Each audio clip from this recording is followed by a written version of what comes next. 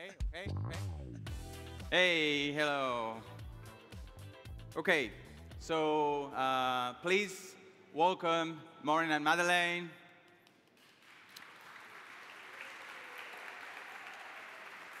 So Máirín Duffy, Senior Principal Interaction Designer at Red Hat, and Madeline Peck, Associate Interactive Designer at Red Hat.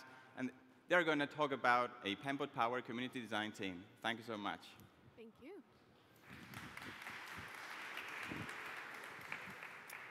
Hello, everybody. So this talk is a bit of a love letter to PenPot. Um, we're basically going to talk about how we use PenPot and why we think it's so important. Um, my name is Máirín Duffy, and this is my colleague, Madeline. Um, and we're going to talk about the case studies of how we use PenPot as the design tool for two open source upstream communities, Podman Desktop, which I will talk about, and the Fedora project, which Madeline will talk about. But first, I wanted to talk a little bit about the team that we work on. It's called the Community Design Team. And the community design team is an upstream community-based team of designers that focus solely on working on design for upstream open source projects.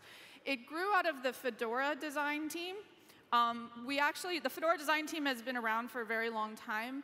And because we've been around for so long, and I, I think we do pretty good work, other communities outside of Fedora were asking us for help. So we decided to kind of expand our scope. Um, and one of the other things that's really important to our team, and there's practical, not just dogmatic reasons for this, is that we use 100% free and open source tools to do our design work. So you kind of get the sense of why PenPot is so important to us. We believe that open source, open standards-based tooling is essential to build a healthy open source design community. And there's a lot of reasons why PenPot is wonderful for open source designers. It makes it very easy for us to onboard new contributors. And another principle is when you have community contributors to a project, they might not be working on it five days a week. They might be working on it on the weekends. They might be working on it occasionally. When they can log into PenPot and easily look at everything going on and get updated on how they can jump in and help, it makes it so much easier for volunteers to join upstream communities. This means we can have a more diverse population of people contributing to the design of open source. It means that open source will be more useful for more people. So it's, this is a really critical feature of PenPot. Um, you also, when you invest your time as a designer into learning an open source tool like PenPot, you're investing your time and your energy into learning something that's not just going to disappear because it's open source. Um, there's a story that I like to tell how I can open up GIMP files that I made as a 16-year-old girl, but I cannot open up files that I had to make in a proprietary program 10 years ago because that program doesn't exist anymore, and it was a proprietary format. So open standards-based tooling that's open source is very important to upstream open source communities. Um, you control your files.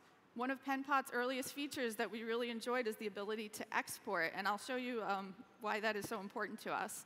Um, it helps you organize community feedback, you can prototype without code, and it makes it very easy to access assets. Before we picked up PenPot, we were using Git repos to store design assets, and I don't know how many designers are in the audience that know Git, but it is not a fun tool for designers. So having something like PenPot that's tailored to us is very important.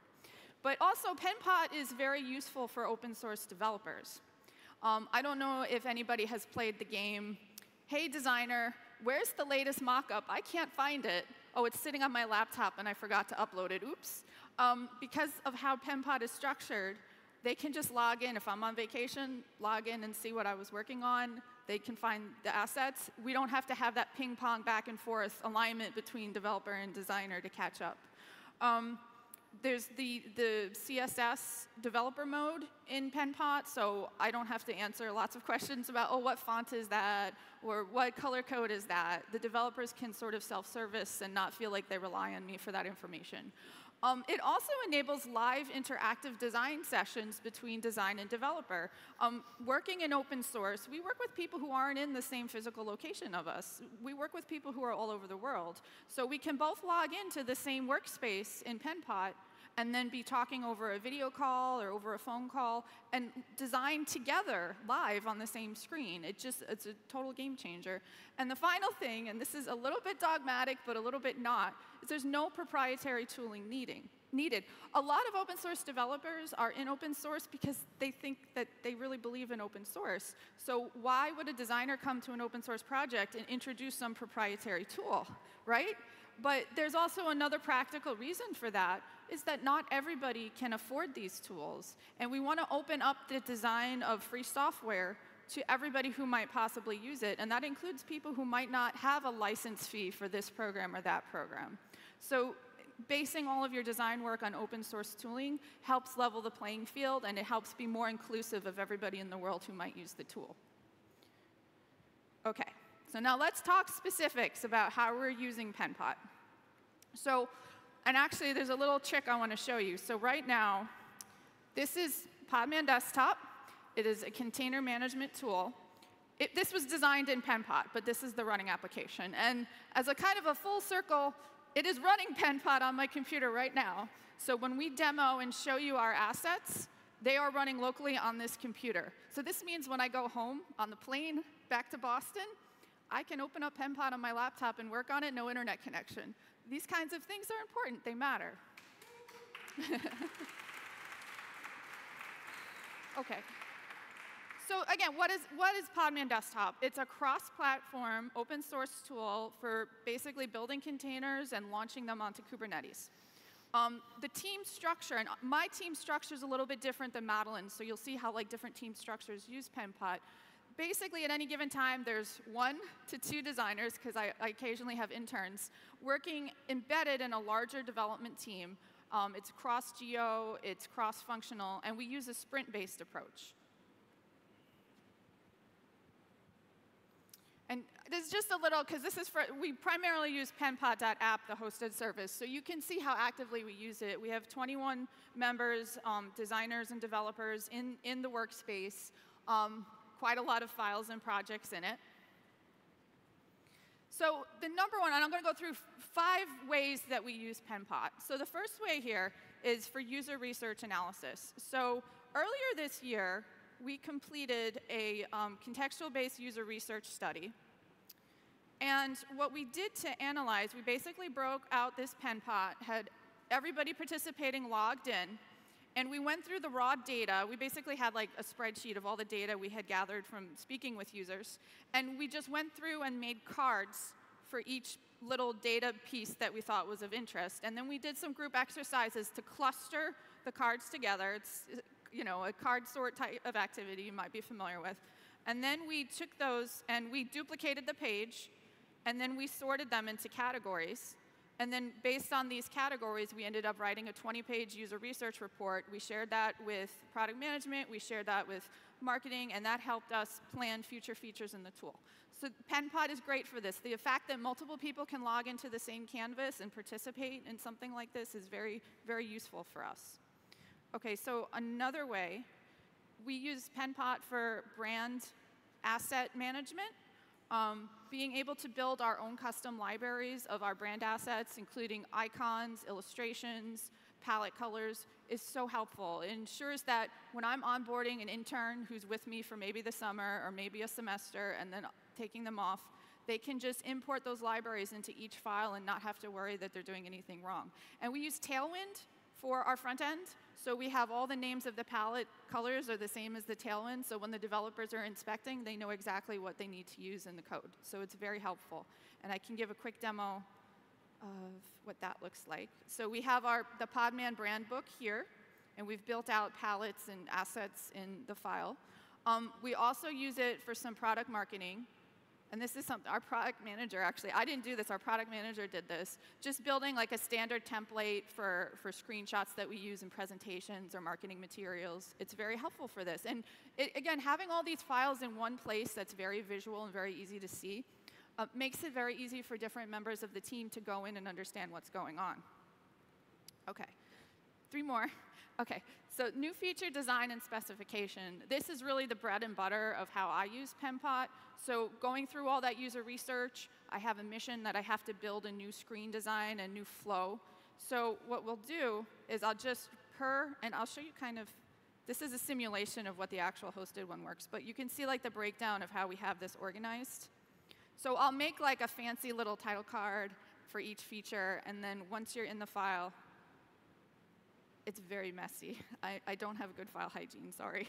But you can see how we have all these different variations, and basically we'll go, we have weekly calls that are UX sync up calls, and we'll open this up and screen share, and then everybody will give their feedback, and we'll walk through, and I'll use the comment feature to note what everybody is saying, and then when I go back up by myself to iterate, I'll have all the comments right there, right in the place where I'm designing. It's very helpful. And then um, bug fixes. So occasionally, like I like to work on new features because that's the fun bit, but every now and then there's some little bit that needs fixing, or like this icon is not just right, or this thing is not, the interaction's a little awkward. So what I'll do is I'll organize things based on either the PR or the issue number. So you can see how um, they are named here. And I can have, this is like an example of where we didn't have a style for alert boxes, and we base everything off of Patternfly as like an upstream. So I had to look at the Patternfly guidelines and figure out how to translate them to Podman Desktop. So it was just a little quickie. But then everything is organized by the PR number, so in the future, if we need to refer back to it, we can. Okay, and finally, um, and th this is the feature I really love. So I get to participate in sprint reviews alongside the developers and have cool looking demos because of PenPot's prototype tool. So I can show you here this is a flow that I did. We're designing a new onboarding feature for Podman Desktop to walk users through the initial setup. So it's a completely click-through workflow. And it really, just being able to do that so easily gives the sense, oh, this is how it works, OK. And I get much richer feedback than if I just had flat mock-ups that were not linked at all and were not click-through. So that kind of concludes my, my talk through how Podman Desktop uses uh, PenPot. And now Madeline's here to talk to you about how the Fedora project uses PenPot. Yes. Thank you, Mel. I love learning about what my awesome coworkers are doing, and I'm so excited to be in this beautiful space with everyone here. So, hi, I'm Madeline.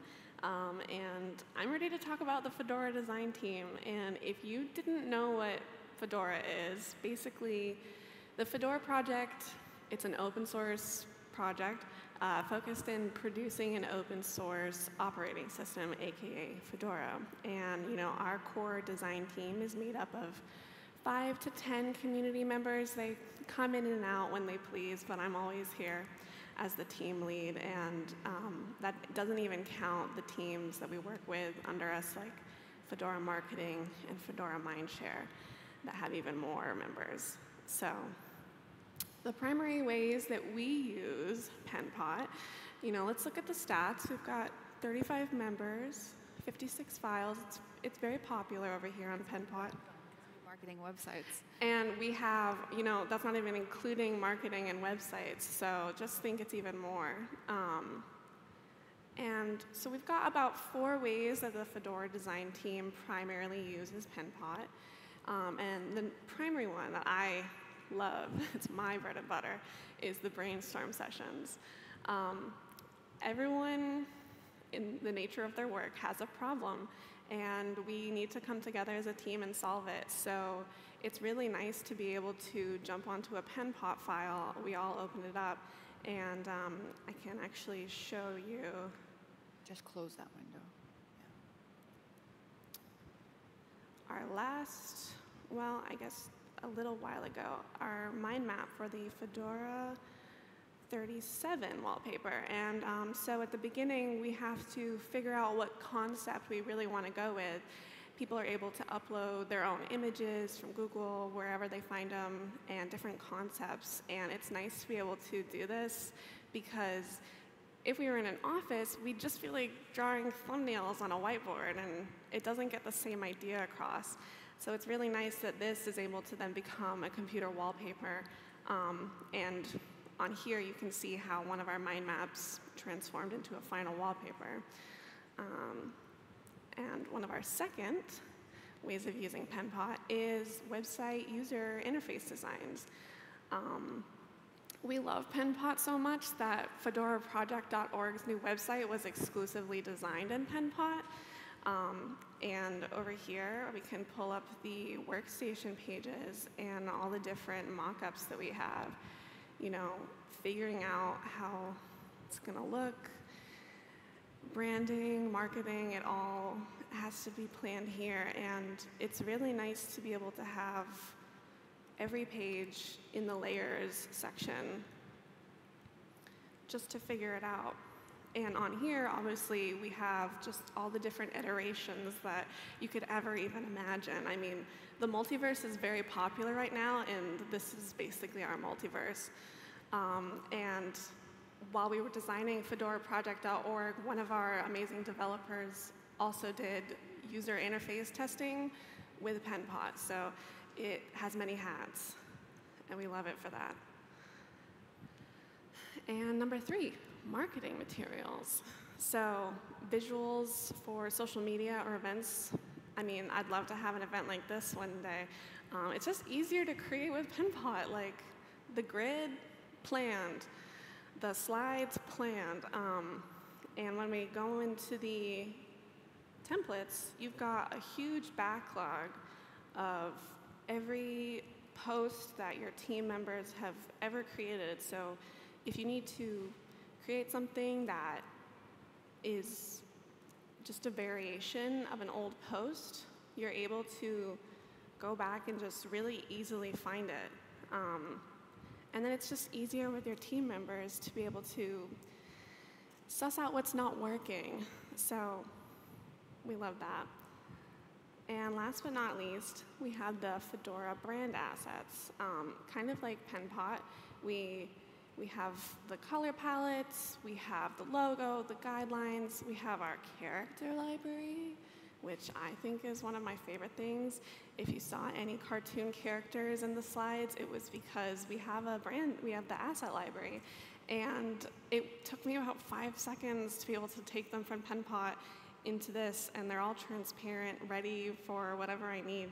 Um, and it's great when you have someone new joining the team um, and they don't know where or what makes up a Fedora guideline or brand color, and you're like, this is where you can go.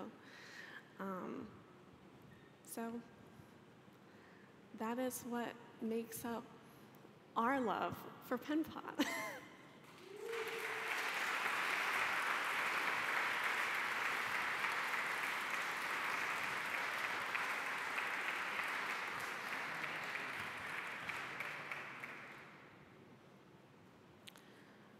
So I think questions, right? Yeah. Does anyone have any questions for us? It's okay if they're still forming. Hello. Uh, okay, so oh, love the talk and everything. Um, I have a question. You have you mentioned some of those projects are community-based design projects.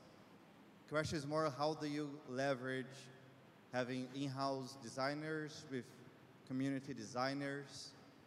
Uh, how much, how do you do this kind of onboarding? It's easier to think about development onboarding for designer for, we are at Blender, for us it's more like a foreign subject to rely on external, so I'd love to hear more. Sure. So um, there's a theory that um, one of my colleagues uh, in the Fedora project came up with called the flywheel theory of open source and basically, the idea is that you need at least one or two people in any given community who are there kind of all the time, that they're the flywheel making everything else go. And the way that I view um, the community design team is there's Red Hatters like myself and Madeline who serve as the flywheels. We're sort of always available and present to help out and like make sure things are moving forward. And then as community members or as interns um, on board, we're there to sort of help facilitate the onboarding. And we do, we have various programs that we participate in. I would say Outreachy is one of the more important ones. Um, Outreachy is a, it's a program where underrepresented folks in the open source community are given the opportunity to have a 12-week internship to work with an upstream open source project. And the way that Outreachy is structured is you break down the 12 weeks into stages, like there's an onboarding stage, um, there's a stage where you're sort of planning out your project, and then there's a stage where you're implementing and cleaning up and documenting. And honestly, I use that 12 week, because 12, 12 is a lovely number. If four by three, two by six, there's like different ways you can break it up. But that's sort of how we plan bringing on new designers is we look at it in terms of 12 weeks. What can you do across 12 weeks? And we take that idea from Outreachy and apply it to everything. So we have different things that we do at each stage, and we sort of look at new contributors as being in one of these stages, and based on the stage that they're in, we start them out with different things. Like there's the initial getting, getting started stage where we'll set up a new PenPot account for them. We'll give them a little bit of a demo of, listen, this is where all the assets are. When you're making something new, this is where you go. Oh, sorry, that's my alarm for myself. Um, and um, when they get more into the more involved stages, we have weekly meetings that Madeline runs um, we call it the Fedora Design Live. We may be renaming it because we're sort of trying to structure to this new community design structure. But it's basically like open office hours. Any contributors who are around that week can show up, talk to us live, ask any questions they have. We can help set direction for them. So, I mean, it's, it's very intensive. And it, it may be a little bit more intensive than development is. And I think that's because with development, it's sort of like you have a tree and you can just submit a patch, pick an apple off the tree, and you're okay, and you can walk away or you can get more involved. But design kind of goes down to the root of the tree, and that takes a little bit more investment to understand. So we sort of, when we onboard designers, we look at it as a very long-term relationship. So I hope that helps. I have a lot of thoughts and ideas about this, so feel free to reach out to me after. And the, the only thing that I'll add is because you basically said everything I was going to say, is that I think we really are concerned with good documentation. Because if Mo and I are both in the hospital, like on the same day, I want someone who's slightly interested to be able to find everything really easily, um, and then they can come to us with any like prevailing questions at the end. So I think good documentation, um, being approachable on social media, and basically just like slowly coaxing people in um, and knowing that it's not as hard as they might think or intimidating. Yeah. Any other questions?